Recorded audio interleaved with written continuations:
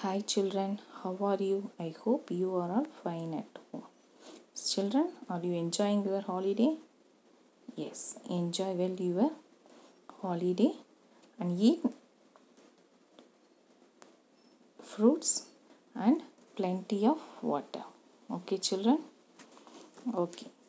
I am Rekha from TMHNU Nadar Saraswathi Public School, Vadabudupatti. Okay, let me move to the lesson. Yes, now we are in grade 3rd standard. The subject computer science topic communication and software. Lesson number is 1. So we are going to see what communication. What are the types of communication? For communication we use a languages and the software types with example. Okay children, let's we move. Okay. Now we see about what is communications. Okay what is communication? So the people learn and share information through communications. The people can share the information called through communication. Next people pass the idea and feeling from one person to another person called communication. They used to share what?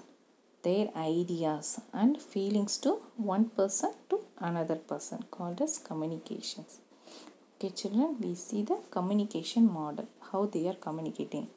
The boy and the girl. Sender, first one is sender and the message passing is the receiver. Okay, if a boy send message to the receiver and the girl reply to the messages. Okay children, that is the sender and receiver. In school used to know if you pass any information you inform to whom? Inform to the nearby friends. That is passing information from one person to another person. That is called communications. Okay? Then these are all the means of communications. Computer through radio telephone newspaper cellular television letter and magazines. Okay? Next we see about what are the types of communication. Here we see the two types of communication. One is verbal communication and the second is non-verbal communication. What are the two types of communication we are going to see? First one is verbal communication and the second one is non-verbal communication. So what is verbal communication? The sharing of information among individual orally or written format known as verbal communication. So we are passing information through oral format or written format. Okay. Now let's see the picture for what is oral format and written format. Okay children. So these are the two types of verbal communication. First one is what? Verbal communication through oral format and second is written format. So what is oral format? That is we are passing information through video conferencing or voice call, voice chat called as oral format communication and written format communication is what? That is sending, writing letter and sending a message or email that is called written format communications okay next we see about non-verbal communication. Already we see about verbal communication. Communication two types verbal and non-verbal. Next we see the second type of non-verbal communication. So what is non-verbal communication? Non-verbal communication is a process of communication through sending receiving wordless messages. So we are sending and receiving the message without word. That is called wordless messages. Okay we see what are the types of non-verbal communications. Okay the first is body language second facial expression and the third is sign language. So these are the three types of non-verbal communication. We see some example of body language. So these are the body language communication. And next is facial expression and third one is what? Sign languages. With the help of sign we can identify what they are going to express. Okay children? So these are the three types of non-verbal communications. Okay children? Then the communication also for animals takes place through sound and their act. With the help of sound and with the help of the action the animals can communicate from one animals to another animal okay? The communication between computer and human done by using languages. How the human and computer communicate? By using languages okay children? Now we see about what is languages and types of languages. So we see the first types of languages. First is the low level languages and high level languages okay?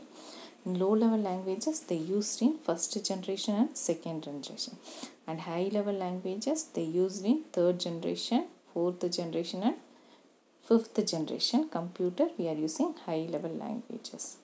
Okay children now we have to see about low level languages. So the low level languages short form we mentioned as triple L L L L. It is a programming languages that deal with the computer hardware components. Okay what are all the computer hardware I will show. So what are all the computer hardware? The parts that is outside that is visible that we can touch that is called computer hardware. Let's say example has monitor cpu keyboard mouse. So these are all what? Visible and we can able to touch. Okay? That is called computer hardware components used to deal with the programming languages that deal with the computer hardware components. Is called low level languages. And the low level languages is a machine readable form of program. Is used to, to read by the machine easily. Next is the what are the, all the advantages of low level language? If you are using low level languages what are all the advantages? First is less storage space runs fast and useful for writing a system program. System program used to write easily. So these are all the advantages of low level language. Next we see the high level languages. So high level languages means what? We mentioned as HLL high level languages okay? It is also the programming languages. It enable programmer to write program independent of a particular type of computer okay the programmer can write the program independently. And HLL that is high level languages will be a human readable form. It can be read by the human easily. So we see the, what are all the advantages of high level languages. It is easier to read easier to write and easier to maintain. So these are all the advantages of high level. What are the three advantages of high level languages? Easier to read easier to write and easier to maintain. Already we see about hardware now so these are all the parts of hardware and software. So what are the hardware? Cpu monitor mouse the regulator and a telecad. So these are all the computer hardware. And what are the software? The microsoft powerpoint microsoft excel microsoft access and microsoft word. So these are all what? The software okay children. Next we see about the software. What is software? So software is a set of instruction or program that instructing computer to do the specific task. A program instructing the computer. Ask the computer to do the some specific task called as software.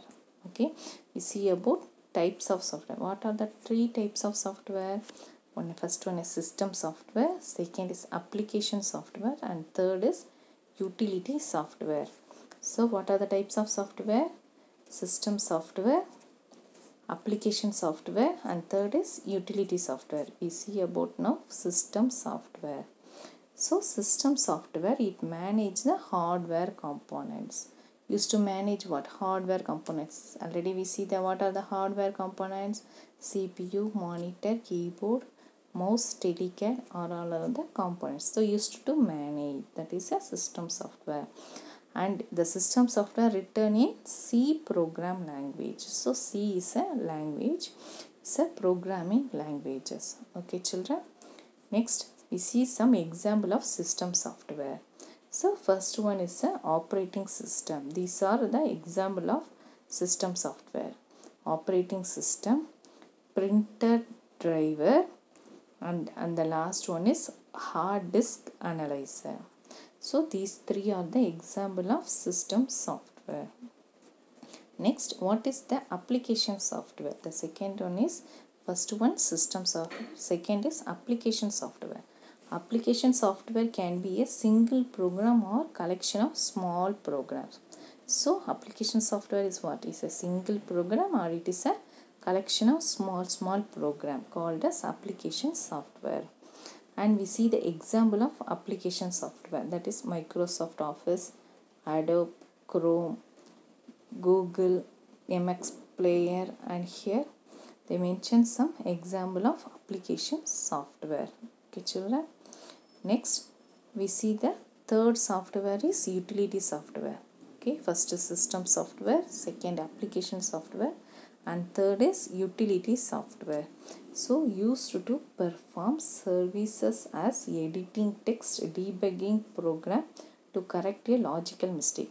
Used to do if you write the text it is if you written the text wrongly used to edit and debugging the program and used to, to correct the logical mistake any simple logical mistake you will may know so used to, to correct in the program called as utility software and also transfer input output devices to another. So input and output devices to transfer from uh, one computer to another computers. Okay children? Next we see the example of utility software. So these are the utility software example. That is virus scanner screen saver, disk defragmenter and registry cleaner so these are all the example of utility software. Okay children next we go to the exercise. Are you clear about communication languages and software? Yes okay. Now we move to the exercises. Can we do? So first is match the following. So where is the verbal communication? So verbal communication consists of oral format or written format. So where is the oral format? Yes, this is the oral form of communications. Okay. Second one is what? The non-verbal communication. So where is the non-verbal communication? The non-verbal communication consists of three languages. Body, sign, languages have no facial languages. So first is where is the non non-verbal communication picture? You have to do matching yes. The body language they are doing that is a non-verbal communication. Next third is microsoft word. Okay. Then fourth where is the printer driver? Yes. Here is the printer driver and where is the application software? Where is the app? Yes the angry bird is the app in application software. Okay children do you understand? Okay just recall the lesson again and again. Okay children? Okay thank you